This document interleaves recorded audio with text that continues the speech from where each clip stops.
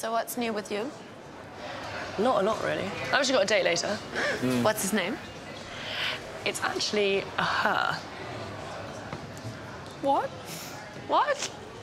No, seriously. No. Yeah. I've told the told the gays. I basically I basically was out the other night and I met this girl who's gay, and sort of got chatting, and then I kissed her and then she was like, "Do you wanna, like?" You know how much I support this. It's not like a girl thing. Like I'm not attracted to. I don't think it's a gender thing. It's I a think It's, it's a person. person thing. Yeah. Yeah. I know I get that.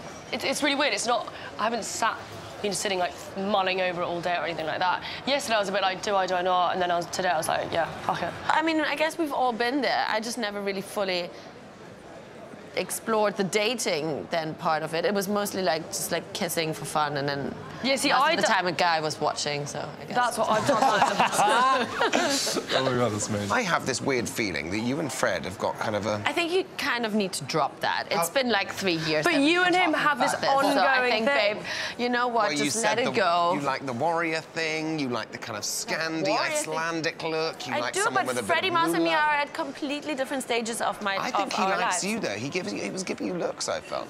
Wh- Where is this all of this coming from? First of all, I'm very actively dating everything. As long as you're happy, whatever you want. But I do think in the back of my mind that you and Fred could go for one day and maybe a cheeky snog. A cheeky snog is not going to cut it, okay? Well, So- a good hard bang then. I don't know. I don't know. Crikey. You used to go out with Fred, Yes, briefly. And I think I think that was quite lovely. But I think now that's all You- over and stuff like that. I think, why, I mean, why not? I mean, imagine he's got an Icelandic sword like a Game of Thrones. Thor's hammer. Maybe he is the Game. He's of well endowed, if that's what you're wondering. For you. Ah, we never spoke about this, actually. And I don't think we need to. Are we talking? Yes. Are we? Is We're it, in business here. You're in business. Thank you. It's nice for the three of us to get out of the house for once. Have have a conversation outside the kitchen. We're always outside the kitchen. That is true, We actually. haven't had like a little nice three of us outing in a little while. Can I say, how is it possible in our house that I can hear your TV, but you've never heard me have sex and I've never heard you guys have sex? I'm a very gentle lover. Oh, are you? See, Yeah. me on the I other am. What? What? um, so I had my date. Oh yes. It was actually really good. Kissed her. So what what's going to happen then? Are you have you are you going to see her again?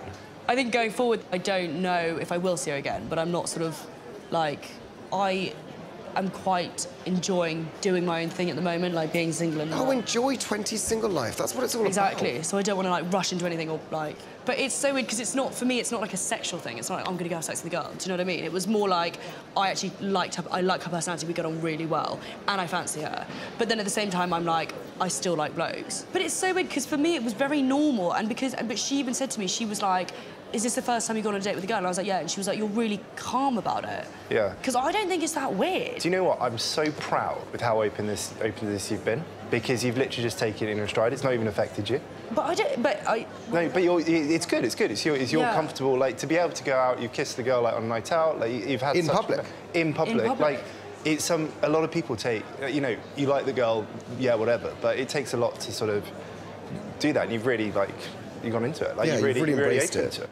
God, you come into our house and two years later you're gay. Haven't fully turned me yet.